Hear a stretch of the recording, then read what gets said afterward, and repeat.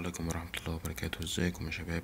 أهلا بكم في فيديو جديد في قناة Legacy of Discord بالعربي.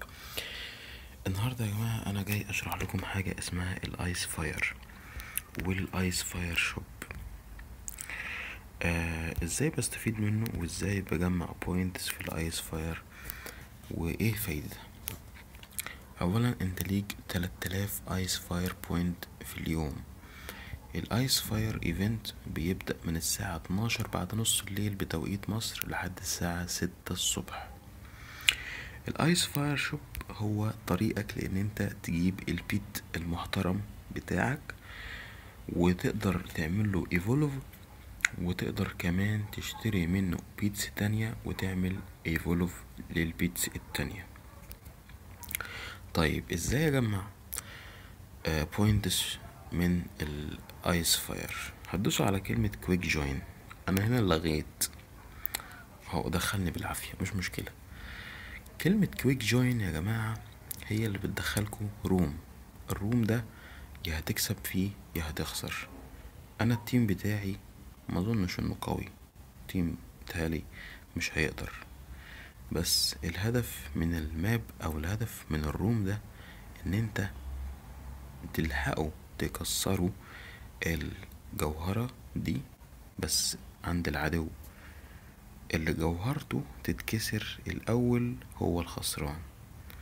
طب أنا إزاي أهجم على الجوهرة وأكسرها؟ لو أنا جيت هجمت على الجوهرة لوحدي هموت لأن الجوهرة بتقدر تقتلني. لكن لازم أهجم مع الجنود بتاعتي اللي هي الصغيرة دي. تمام؟ لأن هم دول اللي بيحموني. هم دول يعتبروا الحماية بتاعتي هناك.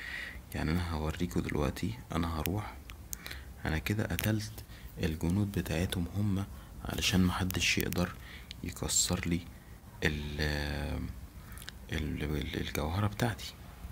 فأنا دلوقتي رايح عند الجوهرة بتاعتهم لو لقيت جنود من بتوعي هضرب فيها وهساعدهم لو ملقتش هرجع تاني علشان مموتش آه هنا مفيش مش هلاقي جنود بتضرب في الجوهرة فهرجع تاني علشان ما يحصلش مشكلة.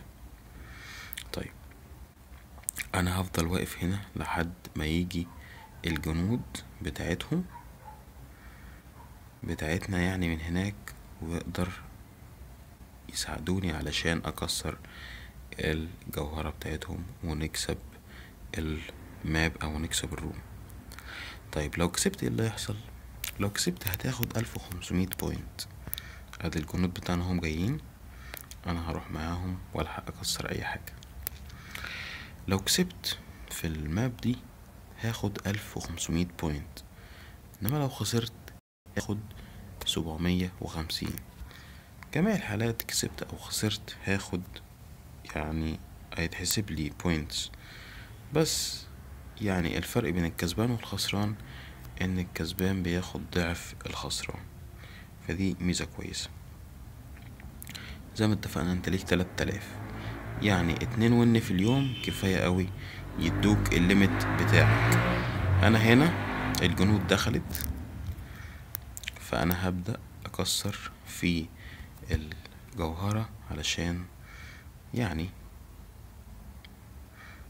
أهو نزلت واحد وستين في المية تمانية وخمسين بدأت الجوهرة بتاعتهم تقل وتضعف خالص.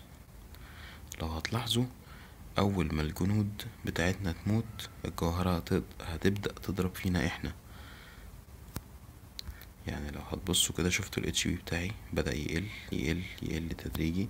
أنا هقدر أبعد علشان مموتش خلاص يعني فرقت معايا على حاجة بسيطة كنت هموت أهو. وهكذا بقى بالطريقة دي علشان تقدروا تجمعوا ألف الالف وخمسمية أهو. بس كده إحنا كسبنا. لو تبصوا أنا أخدت ألف وخمسمية بوينت علشان قدرنا نكسر الجوهرة بتاعتهم بسهولة وقبل ما هما يكسروا الجوهرة بتاعتنا. لو هتبصوا بقى على الايس فاير شوب عندي دلوقتي هتلاقوه وصل لتلات تلاف.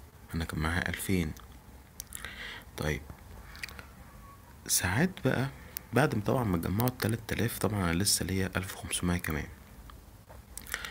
كل يوم من التلات آلاف بينزل هنا بقى البيت بتاعك الأحمر زي البيت بتاعي اللي ماشي معايا ده.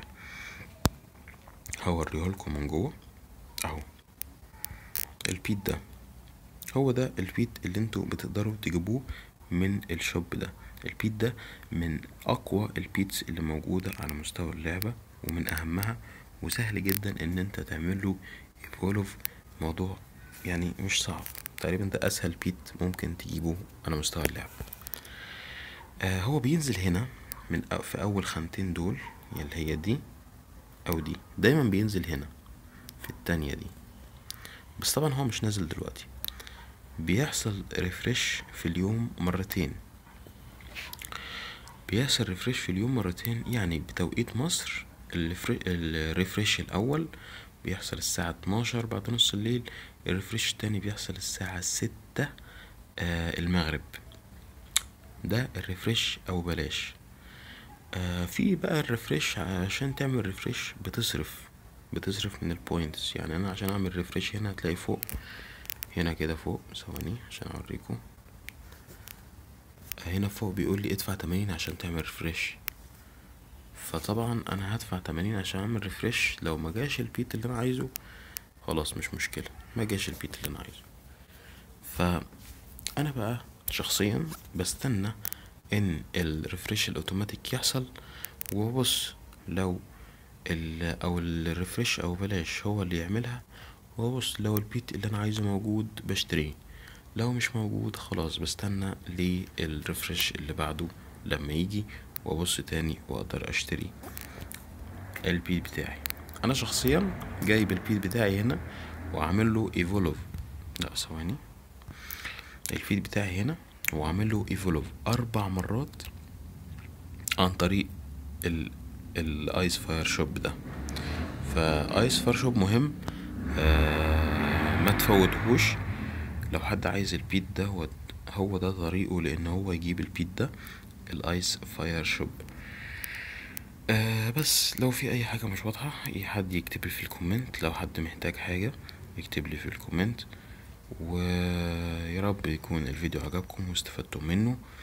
ولو حد زي ما قلت لكم محتاج حاجة يكلمني على طول. والسلام عليكم ورحمة الله وبركاته.